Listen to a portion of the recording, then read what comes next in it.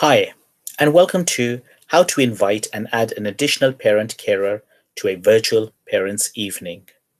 The software that we are using for our Virtual Parents Evening is called School Cloud.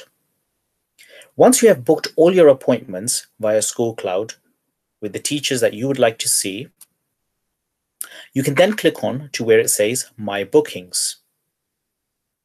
Once you click on to where it says My Bookings, it will give you a list of all the teachers and all of your appointments that you have booked an appointment with. You will then click on where it says Invite Parent Guardian. If you click on Invite Parent Guardian, it will then take you to the Invite Parent Guardian form. You may invite an additional parent or guardian to also attend the video call. What you need to do for that is write the person's name in. You can see here on the form, I've created a fictional name. You then put in the person's email address. Make sure it is correct. Just check it as it does not ask you to confirm. Once you have done that, it does say anyone with access to this email address will be able to join the video call. You then click the checkbox, which says I consent to sharing my name, student name, and a list of appointments.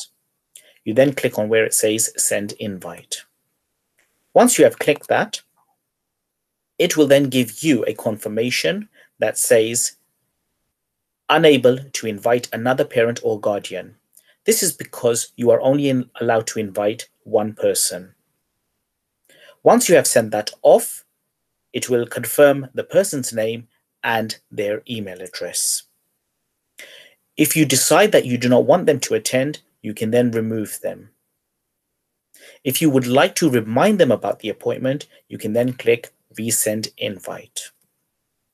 When a person opens up their email address, this is how it will look to them. They will receive a video call invitation for the parents' evening with the child's name, and you are then given the option to click Join Video Call on the day. Alternatively, you can paste the URL provided into your browser and therefore access the parents' evening. Thank you for watching.